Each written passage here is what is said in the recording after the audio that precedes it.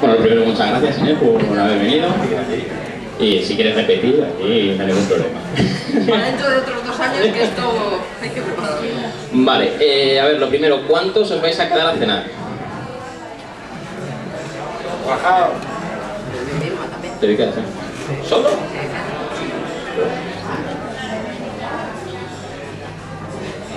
¿12? Sí, 12, la comunidad 2 millones.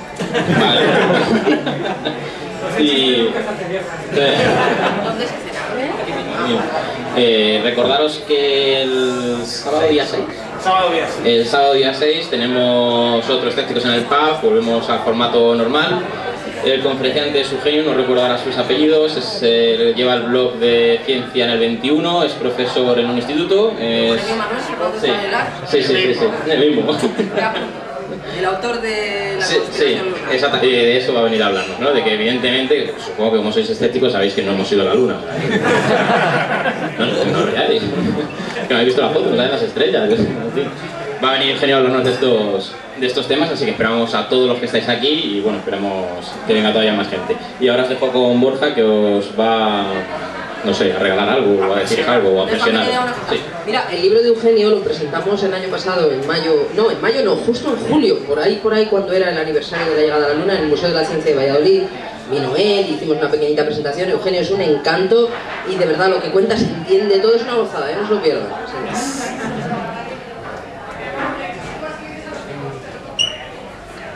Bueno, como sabéis normalmente esto termina a las nueve y poco, que nos echan para la cena, y como nos queda un ratito, Pablo, uno de los organizadores de Escépticos en el Pub que hoy no ha podido venir, ha creado unas maravillosas pegatinas, Mind the Fraud in the Name of Science, cuidado con el fraude en el nombre de la ciencia, para que podamos pegar en nuestra farmacia que vende remedios homeopáticos favorita, nuestra librería de ocultismo, o esos sitios que frecuentamos y los que compramos, pero bueno, nuestras curas naturales para energizar los chakras y cosas así. Como han sido... A ver, han sido no, son pocas las que tenemos y queremos que os las ganéis para poder pa, humillar a- al comercio fraudulento que tengáis cerca de casa. Pon una en la Universidad de Zaragoza. Si alguien va a estar en Zaragoza pronto, se lleva una ahora mismo para que pueda ponerla en el... Sí, despacho del rector.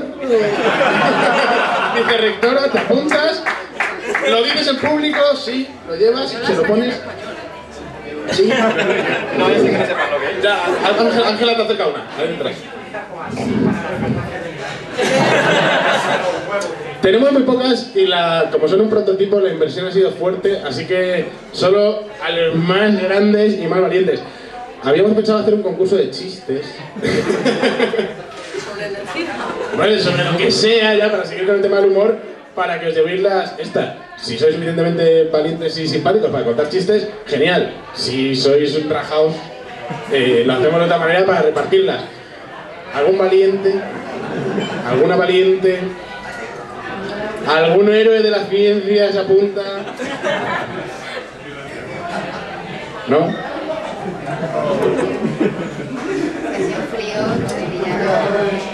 Mind the fraud.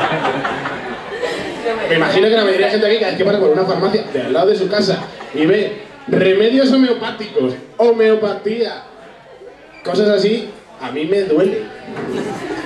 Yo contaría todos los chistes posibles por una de estas pegatinas, pero ya me la he por otros medios. Así que no, no tengo que contar chistes. Pero lo haría, contaría un chiste por malo que fuese. Estamos aquí medio en familia, todo el mundo va a aplaudir aunque sea por no haceros el feo. Mind the fraud. Dice el humor es muy agradecido que si lo haces mal nadie se va a reír. ¡Una más cheva!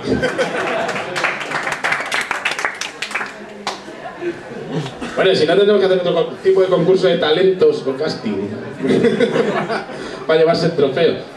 Bueno, lo que sí está claro es que si os la queréis llevar tiene que ser con un objetivo claro, clarísimo, porque no tenemos... Bueno, otra cosa, si os gustan mucho, os gusta la idea eh, podemos siempre conspirar, como nos gusta a los Illuminati, para poder hacer una tirada realmente grande y plagar el mundo de avisos contra fraude.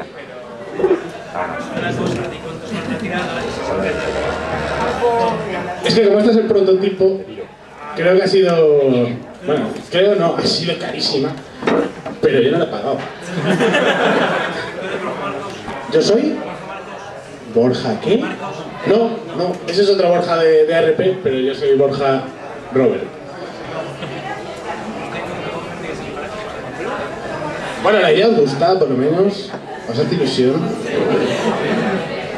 ¿Queréis herir los sentimientos de vuestra farmacia favorita? ¿No estáis dispuestos a hacer ningún tipo de concurso de talento ridículo para ganaros una pegatina? Sí. En la Facultad de Farmacia de la Complutense hay una vitrina de 5x5 dedicada a un homeópata. Me parece que tenemos otro candidato a llevarse una pegatina. O sea, no pegatina, no, vamos a pagar una pancarta. Acorde al tamaño. Caja de la lengua de la Universidad Catalana, que dio estudio catalán, que está en el Instituto Homeopático Pilar de San José, y siguen dando charlas y conferencias. También te quieres llevar una. ¿eh? bueno, oye, sí, sí, realmente, o sea, todos los que podáis también compartir un objetivo digno de una pegatina, eh, decidlo y si no queréis hacer el ridículo aquí en el- ante todos, alguno más, algo así grave. Yo objetivo tan interesante no tengo. Yo pegaría a todo.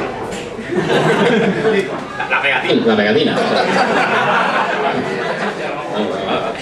Después de 27 años con una eh, dermatitis atópica, no sé, pues, ¿has probado la homeopatía?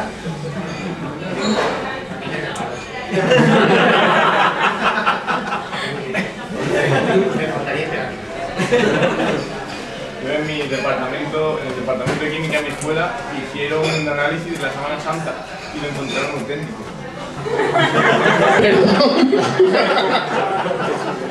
Eh, ¿Puedes eh, explicarte un poco mejor con micrófono?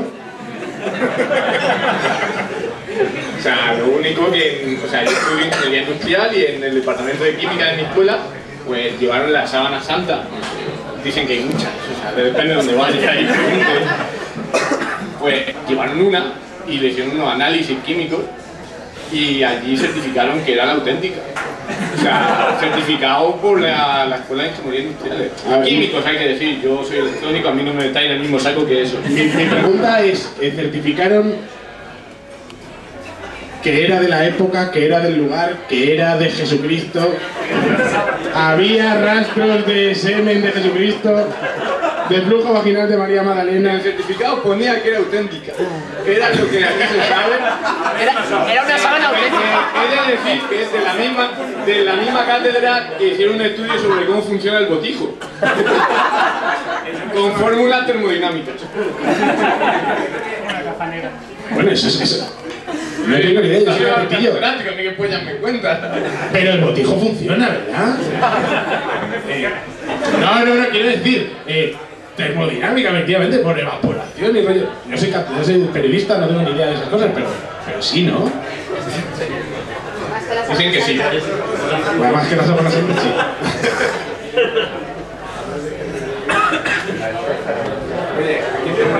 Bueno, yo también considero que se ha ganado una pegatina para el departamento de química. Está muy bien, a ver, todo. Si el mundo está lleno de fraudes. Bueno, no contarlo por ahí, porque alguien, alguien más tiene algún objetivo digno. Por aquí diciendo una anécdota. No puedo contar si no me he tirado hacia la pero en privado, pero puedo contar que yo no conté en una farmacia con esto de la, de la homeopatía. A Cuéntalo con micro.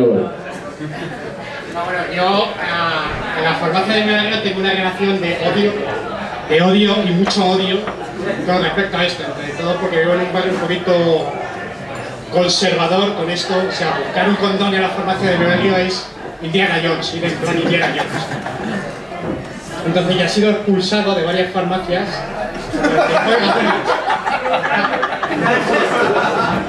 Oiga, buenas, quería un preservativo. Y dice, bueno, señor, ahí amablemente sobre la puerta Entonces, bueno, ya me conoce. Y una de estas, pues bueno, voy al médico, me receta cosas para mi migraña, voy para allá y me encuentro, ¿no? Promoción de la hemopatía, ya digo, bueno, oiga, bueno, me la dan.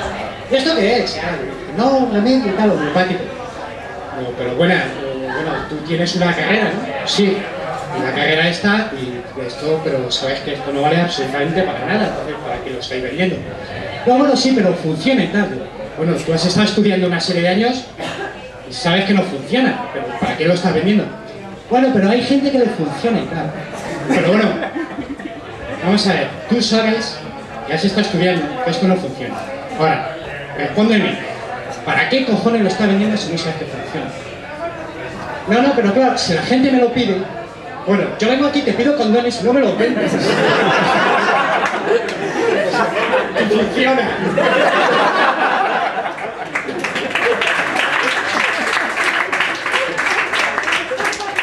Me dice, no, me dice, ya claro, pero no lo mismo. Digo, claro, a ti los condones te dan remordimiento de conciencia y esto no. Entonces, está claro, tú esto lo vendes con la pasta y los condones te da igual porque sabes que en este barrio el único que te voy a pedir condones es voy a ser yo y mi hermana. Porque somos los únicos cojetes que vivimos por aquí.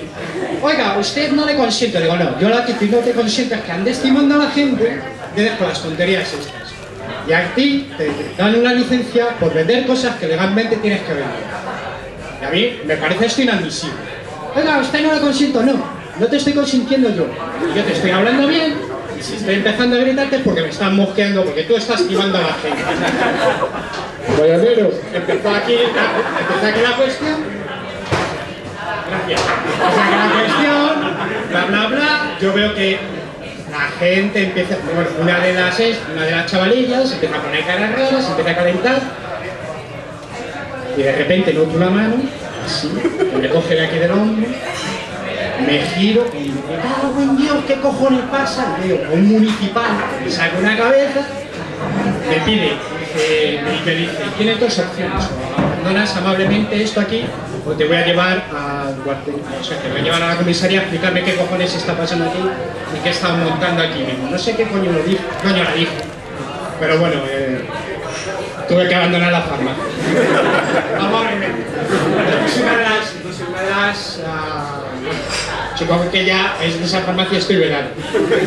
Pero bueno, es un poco de que la, la historia está. La señora me reconoció que lo vendía por la pasta. O sea, y esto es así. O sea, la- los farmacéuticos lo venden por el puñetero dinero. O sea, esta señora me lo reconoció. O sea, el valor de la discusión, bla, bla, bla, o sea, me reconoció dice, no, no, yo lo vendo porque tengo que comer. O sea, eso, así me lo dijo. Claro que eso es lo que me mosquea. O sea, a ti, a cinco años de carrera, si funciona o no funciona, a ti te va a. O sea, vendes productos, vendes productos homeopáticos porque le dan pasta. Y no vende condones por el que dirán. Igual por la pasta, porque si los pone los condones y la ve el mostorio, como vive en el barrio que vive, que es el de Arapiles, en el pleno distrito de Chamberí, pues sabe que los viejecillos y la- los vecinos no van a ir a su farmacia. Y van a ir, y van a ir a la de al lado, y van a ir a la de más allá. Y lo único que se atreve son los la, la- la única farmacia que vende condones en era de Quevedo, son cuatro chavalones que saben que se van a hacer de oro, con los que, a no, con la gente que no puede ir a las farmacias barrio, con la resto de farmacias que no que fuera. Está una pegatina claramente, claro que sí. Eh, quiero comentar rápido una cosita, es que tiene que ver con, con farmacia y farmacéuticas. Una vez, en una cena, no me acuerdo quién lo comentó, pero sé que esa- la anécdota viene de, de- algunos escépticos en el pub. Alguien comentó que en una facultad de farmacia o una, una estudiante de farmacia de cuarto o de quinto, alguien le, pues es decir, una discusión sobre temas de homeopatía, le, le dijo, pero, y le dijo algo de doble ciego y le dijo, ¿qué es eso? Una estudiante de farmacia de quinto, o sea, creo que el ejemplo típico clásico de un ensayo clínico, o sea, de un estudio del método científico siempre es con, con un medicamento porque es como el más típico, ¿no? Incluso para hablar de, temas de, de, de- refutación en vez de, intentar buscar eh, probarlo, pues una alumna de quinto de farmacia no sabía que era un doble ciego. Es decir, evidentemente no se hace un experimento. Algo está mal por ahí, o sea, que, que no sé hasta qué punto realmente un montón de farmacéuticos se creerán totalmente.